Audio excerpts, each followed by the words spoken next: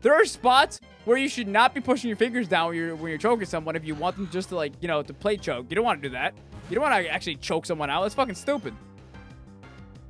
I I want to die, so I mean like. Shut the fuck up, Madison.